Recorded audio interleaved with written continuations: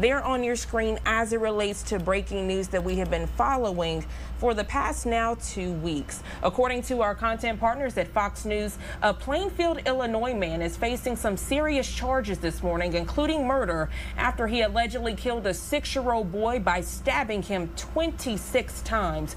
We're told he seriously wounded the child's mother as well by stabbing her more than a dozen times. We're told all of this happened over their faith as Muslims.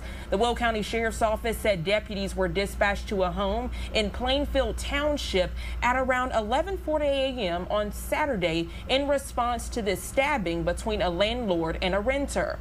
When deputies arrived, they found 71-year-old Joseph Czuba sitting on the ground near the driveway with a laceration on his forehead.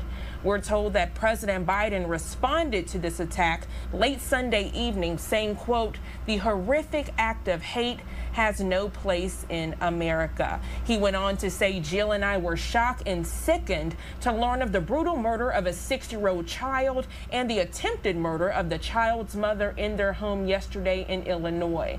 The child's Palestinian Muslim family came to America seeking what we all seek, a refuge to live, learn, and pray in peace, end quote. That statement from President Joe Biden and Jill.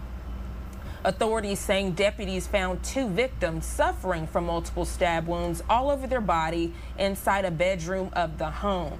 Now, all three individuals were taken to a nearby hospital to be treated for their wounds. Authorities saying one of the victims, a 32 year old woman, was in serious condition and had more than a dozen stab wounds to her body. She is expected to survive the heinous attack. But again, sad news this morning after this man is accused accused of allegedly killing the six-year-old boy over his Muslim faith. That boy there on your screen, and then that previous shot actually showed the man who is accused of these crimes.